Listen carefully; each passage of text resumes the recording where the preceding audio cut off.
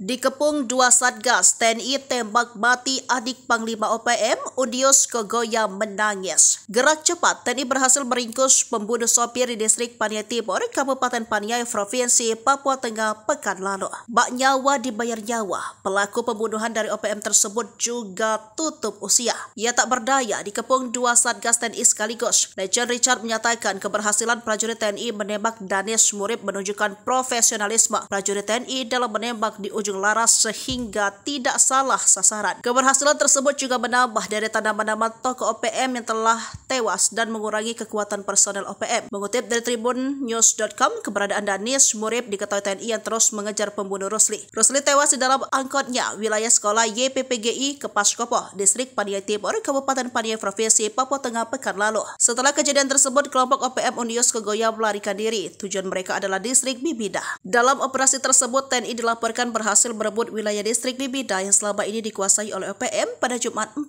Juni. Pangkogap Wilhan 3, Legend TNI Richard Tampupolon, kemudian memerintah dua satgas sekaligus melakukan pengejaran, yakni Kops Habeba dan pasukan Nanggala. Dalam operasi tersebut, prajurit TNI berhasil menembak dua orang anggota OPM, salah satunya terkonfirmasi sebagai Danish Murid. Perlu diketahui bahwa Danish Murid merupakan seorang desertir TNI yang terakhir berpangkat prajurit 2 atau Prada. Yang pernah bertugas di Satgas Yonif 527 Bala di Dibya Yuda Kodam Prawijaya yang telah melaksanakan kelana Yuda dengan meninggalkan pos Muanemani baru di wilayah distrik Kabo, Kabupaten Dogiai pada tanggal 14 April 2024.